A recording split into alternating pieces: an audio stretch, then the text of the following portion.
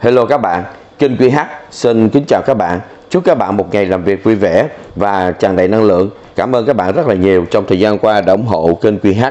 Các bạn đăng ký kênh, like và chia sẻ thì thưa các bạn, trong mấy ngày gần đây thì chúng ta thấy là cô Tai Nha Nguyễn Đỗ và ekip đi họp hội nghị thượng đỉnh về vấn đề à, tôn giáo. Thì à, vấn đề cô Tai Nha đi họp hội nghị và đem hết những cái à, việc mà sự xảy ra ở bên thiền am bên bờ vũ trụ à, vấn đề mà tự do tôn giáo bạn những người mà tu tại gia mà cuối cùng là kết quả là 6 người thiện am bên bờ vũ trụ với mức án là 23 năm 6 tháng. Và tất cả những cái sự việc đó ha, thì cô Tư Nha Nguyễn Đỗ phải uh, tổng kết lại và chỉ gói gọn trong vòng à, uh, 5 phút đồng hồ để uh, trình bày trên uh, quốc hội đây là một việc làm rất là khó tại vì nói là phải đủ và chính xác hết tất cả mọi câu chuyện và tóm tắt tất cả mọi việc mà xảy ra thiện an bên bầu vũ trụ chỉ trong vòng 5 phút đồng hồ. Thì vấn đề đây rất là khó cô Tây Nha Nguyễn Đỗ và ekip rất là lo lắng về vấn đề này. Nhưng mà thật ra thì cô Tây Nha Nguyễn Đỗ và cũng như là ekip, nguyên cả Nguyễn Tiến Dũng thì cũng chẳng có ai mà lên tiếng gọi là bảo đảm 100% là những người bên tiền an bên bầu vũ trụ là được đi tị nạn về vấn đề tôn giáo như các bạn. Tại vì người ta làm là làm có tâm, người ta không có hưởng một cái vụ lợi nào trong đây. Và vì vậy mà người ta à, rất là à, làm rất là nhiệt huyết. Và các bạn biết là như vậy á thì các bạn thấy là Lê Thanh Minh Tú là một trong những người con nuôi của cụ Lê Tùng Vân ha.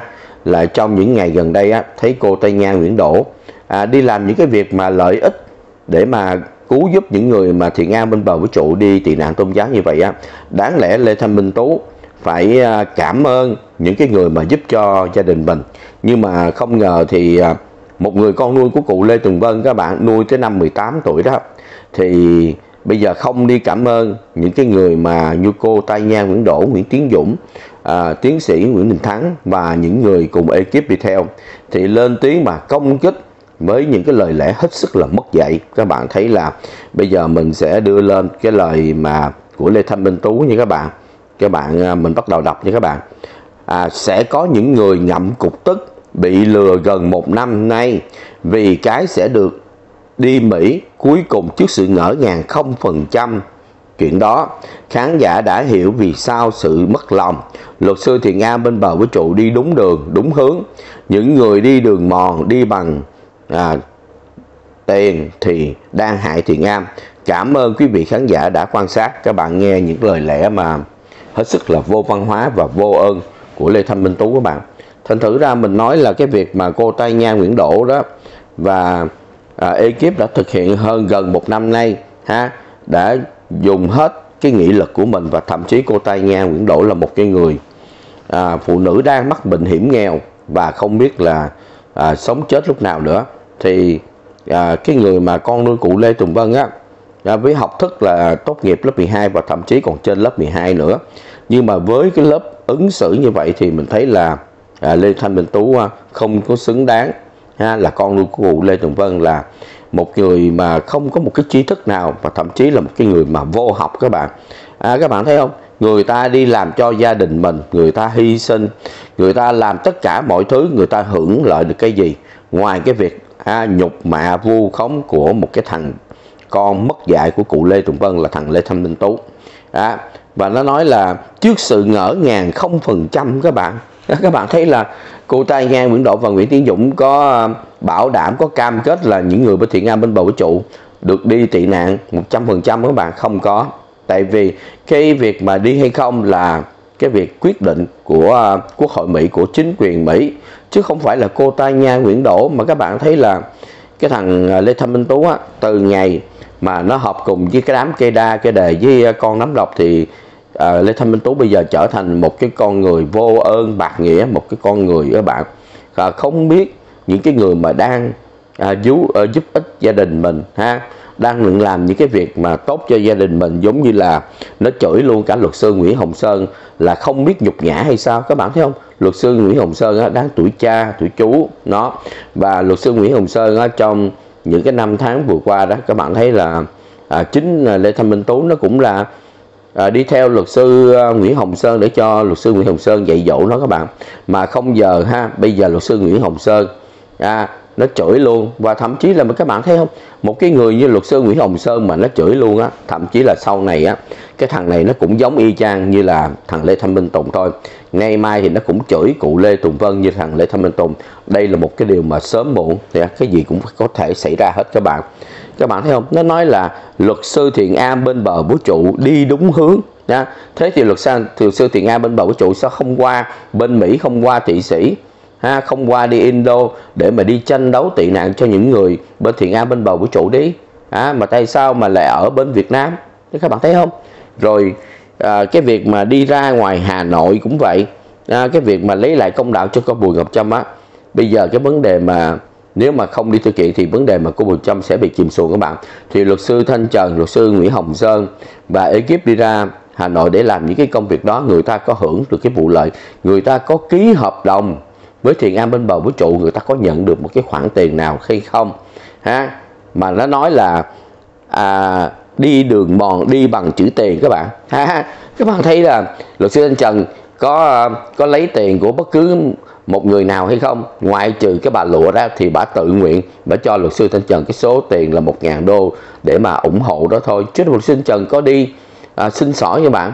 Đó, mà thiền A bên bầu vũ trụ năm vị luật sư đó thì người ta ký hợp đồng với bên thiền A bên bầu vũ trụ thì người ta có nghĩa vụ phải làm những cái công việc nha, về ba ba một hay là gì đó. Cái đó là cái việc bắt buộc không lẽ bây giờ lấy tiền mà ngồi đó người ì ra đó hả? Trong khi luật sư Nguyễn Hồng Sơn luật sư Thanh Trần á là những người làm không vụ lợi à, thì bị cái thằng Lê Thanh Minh Tú này nó lên nó chửi người ta. Các bạn thấy không? Suốt ngày nó đem luật sư Thanh Trần ra để mà nó lên nó cà khịa nó lấy luật sư Thanh Trần á. Bây giờ trả bộ bị bệnh trong từ khi mà đi uh, tới uh, cái chạy uh, à, Long Hòa ở chỗ chạy giam mà nhốt mấy thầy các bạn thì đi về do trời nắng quá bị cảm người ta bệnh cả hơn một tuần lễ thì nó nói là luật sư Thanh Trần trốn tại vì à, sợ bà lụa gì đó đòi nợ. Các bạn thấy cái thằng này nó mất dạy không? Cái thấy cái bản tính của thằng Lê Thanh Minh Tú bây giờ nó không mất nó mất dạy còn hơn thằng Lê Thanh Minh Tùng. Mình nói thật chứ các bạn ngày xưa đó thì cái thằng Lê Thanh Minh Tú nó chưa có cơ hội để mà nó tỏ ra cái việc mà cháo chở giang hùng và mất dạy của nó. Thì bây giờ là cái việc mà các thầy bây giờ đã bị giam cho bạn thì nga bên bờ vũ trụ ngoài thầy nhất loại ra là là một người nam thì chẳng có ai là một người nam. Thành thử ra thằng này á nó muốn gọi là lên thay thế các thầy ở bên thiện an bên bờ vũ trụ á để mà nó trục lợi ha lấy tiền mạnh thường quân rồi làm những cái công việc đó. Các bạn thấy là những cái số tiền bên nước ngoài á, gửi tiền về ha hai tài khoản một cái tài khoản cho một người youtuber à, một cái tài khoản nữa là qua tài khoản của cái thằng lê thanh minh tú này. Các bạn thấy không? Cái thằng này bây giờ nó đâu có đi làm nữa các bạn. Tại vì suốt ngày nó lo đi chơi đi từ thiện à, đi ra ngoài ở bên à, Đà Lạt á, để mà đạp dịch thành thử ra cơ quan nó đã tống cổ nó ra ngoài. Bây giờ nó có số tiền á, quá nhiều rồi ha.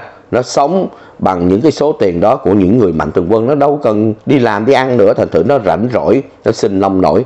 Nó lên trên mạng để mà nó bới móc vạch lá tìm sâu nó tìm những cái việc nào ha, khi mà luật sư thanh trần mà lên like á, nó giống như y chang như cái đám tụi nghĩa địa và cái đám kia đa cái đề á, để mà nó lấy những cái câu nói của luật sư thanh trần ra để mà nó công kích luật sư thanh trần.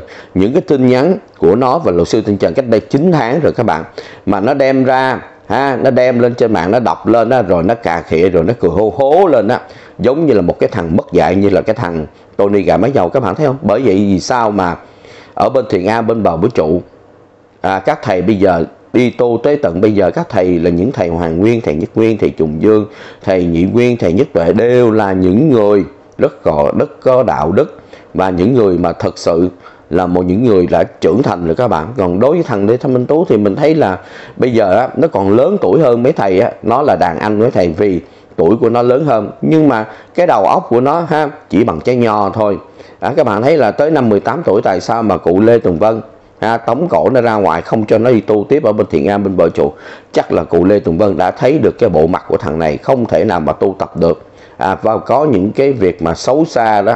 Các bạn thấy là cái thằng lê thanh minh tú từ cái ngày à, đến bây giờ các bạn từ ngày bên thiện an bên bờ vũ trụ mà bị nạn tới bây giờ á thằng lê thanh minh tú nó đã làm gì được cho thiện an ha nó chưa bao giờ nó làm được. Thậm chí là ngày 30 tết đó à, các thầy cô bên thiện an bên bầu trụ người ta rất là lo lắng trong cái việc các thầy bị thi hành án và không biết à, giam ở trại giam nào suốt từ ngày 18 đến ngày 30 Tết. Thì à, các cô đi tìm các thầy à, bị giam trong trại giam nào cũng không biết mà nhờ luật sư Thanh Trần để mà tìm à, các thầy à, giam trong trại giam nào. Và thậm chí là luật sư Thanh Trần còn bảo đảm về cái việc mà mình là luật sư cho các thầy ở bên thiện an bên bờ vũ trụ á để mà có thể là à, à, xin cho à, các thành viên bên thiện an bên bầu vũ trụ đi thăm các thầy ở trại giam Đông Hòa nữa. Vậy mà nó không cảm ơn. Nó lên nó nói là luật sư à, Thanh Trần á giả như vậy thì nó sẽ đi thưa luật sư Thanh Trần các bạn.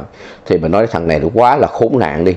Mình chưa thấy một cái thằng con nào ha nó mất dạy à, như là thằng Lê Thanh Minh Tú á.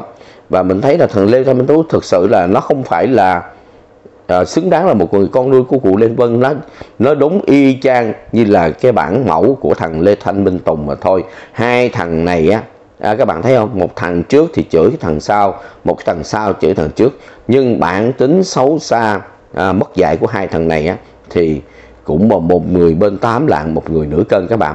Các bạn thấy không? Tất cả những cái việc làm từ cô Tay Nha Nguyễn Đỗ Nguyễn Tiến Dũng Nam Quang rồi đến uh, luật sư uh, tiến sĩ Nguyễn Đình Thắng rồi à, tới luật sư Thanh Trần luật sư Nguyễn Sơn người nào nó cũng chửi hết. Bây giờ nó đi theo con nắm độc nó kêu con nắm độc ha, là chỉ tinh thần của nó. Mà cái con chỉ tinh thần của nó các bạn thấy là à, thời gian vừa qua đó thì cái con chị tinh thần của nó là cái con à, nắm hô. Nó chửi thằng Lê Thanh Minh Tú là thằng mất dạy một thằng ăn cháo đá bát. À, là một cái thằng đi ăn chơi đàn điếm suốt ngày chỉ lo ca hát á. thì mới đầu thì các bạn thấy là kênh QH và cũng như là tất cả các kênh YouTube khác lên binh vật cái thằng Lê Thanh Minh Tú. À, nhưng mà bây giờ mình thấy là những cái lời nói của cái con nấm hô các bạn nói rất là đúng. Nó chửi thằng Lê Thanh Minh Tú là một thằng ăn cháo đá bát một thằng mất dạy á, thì mình thấy là hoàn toàn đúng và chính xác. Tại vì các bạn thấy không cô Tay Nha Nguyễn Đỗ Nguyễn Tiến Dũng và à, tiến sĩ Nguyễn à, Đình Thắng và tất cả ekip đã à, làm hết tất cả mọi sức mình để mà à, tranh đấu cho những người bất thiện ngang bên bờ vũ trụ đi tị nạn vấn đề tôn giáo. Vậy mà bây giờ nó lên nó chửi người ta nó nói người ta vì tiền. Người ta có lấy tiền gia đình nó một đồng nào không? Người ta có lấy tiền bất cứ ai một đồng nào không? Ha cái thằng này hết sức bất dạy các bạn. Cũng như là nó luôn nó chửi luôn luật sư Nguyễn Hồng Sơn à, là một thằng à, một người nhục nhã không biết nhục gì đó. À, nó chửi luật sư Nguyễn Hồng Sơn nó chửi luôn cả luật sư Thanh Trần. Và các bạn biết là chắc trong thời gian tới không sao đâu. Thằng này nó cũng giống y chang thằng Lê Thanh Minh Tùng á. Nó sẽ lên nó chửi cụ Lê Tùng Vân nó chửi những người bên thiện a bên bờ vũ trụ. Mình thấy thằng này bây giờ nó đi quá xa nó không còn thuốc chữa nữa các bạn. À, đây là những uh, cái vấn đề mà mình muốn uh, đưa lên trên cộng đồng mạng để hiểu rõ cái thằng Lê Thanh Minh Tú này. À, QH xin dừng clip tại đây. Xin chúc các bạn một ngày làm việc vui vẻ và tràn đầy năng lượng. Xin chào và hẹn gặp lại các bạn à thank you. Bye bye.